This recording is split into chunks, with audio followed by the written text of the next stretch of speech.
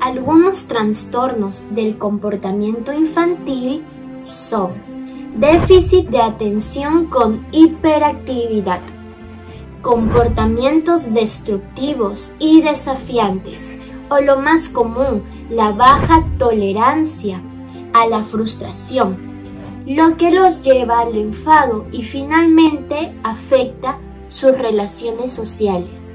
¿Quieres saber cómo prevenir todo esto?